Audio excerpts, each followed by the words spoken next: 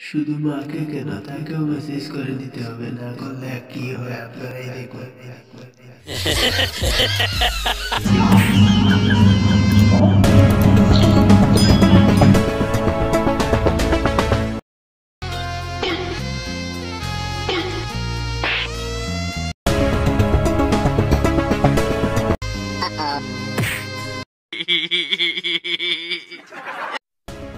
আজকে chicken fried rice খাবে সে, বুঝতে হবে তো। চাইনিজ কি যা ধরে পারে